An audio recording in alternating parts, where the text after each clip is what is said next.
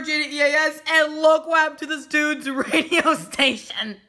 Oh my gosh. Dude, alright. This is SPC Detroit Pontiac 114 died. He was he just caught an alert like 10 minutes ago, and then all of a sudden in the middle of the warning, a complete silence. It was literally, it was literally dead silent, and all of a sudden, they just go down. Yeah, there's NOAA weather radio station temporarily off the air. Down! They're literally still saying there's NOAA radio station temporarily off the air.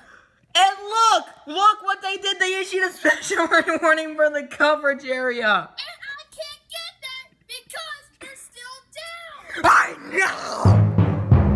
What the heck, Detroit? Oh my gosh. Well, that wraps it up. See you later.